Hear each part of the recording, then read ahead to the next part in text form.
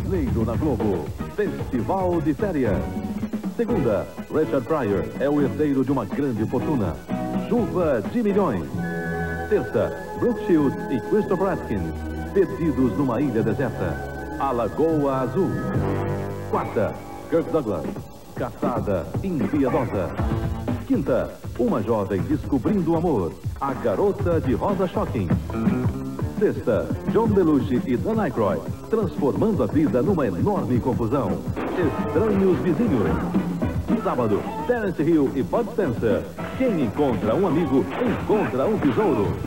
Festival de férias, de segunda a sábado.